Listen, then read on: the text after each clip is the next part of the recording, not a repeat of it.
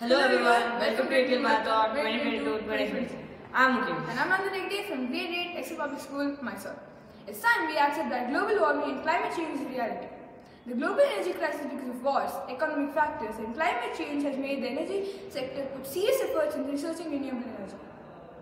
Governments all around the globe, including India, are aiming to shift from conventional to renewable energy sources in the near future. We believe our innovation will be truly helpful in achieving that goal. A sustainable park is an idea by which energy can be harnessed from wasted motions in open parks and open gym equipment. The basic idea is to convert any form of motion into rotary motion and generate electricity through a generator.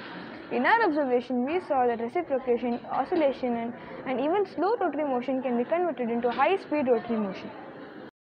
Our output is a prototype model where we have used the examples of a merry-go-round, swing, slide, elliptical cross trainer, and hand spinners to generate electricity, as these are the most commonly seen equipment in open parks.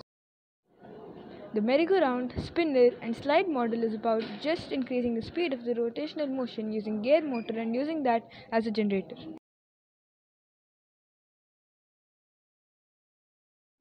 The elliptical cross trainer model implements a slider crank mechanism where each leg powers different generators, gear motor. The swing model will also be connected to the geared motor. But in this, the oscillation in one direction generates electricity, while in the other return motion, electricity is filtered out by the use of a diode. The bench press squat mechanism utilizes the reciprocation motion of the barbell rod, where by using a rack and pinion mechanism, we generate electricity.